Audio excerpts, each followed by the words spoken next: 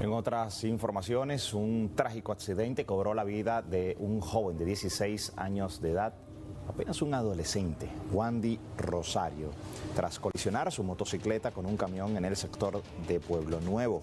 Este accidente ocurrió cuando Rosario perdió el control de su vehículo y chocó violentamente contra el camión.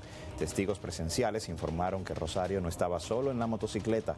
Una segunda persona, cuya identidad y paradero aún se desconocen, huyó del lugar tras el incidente.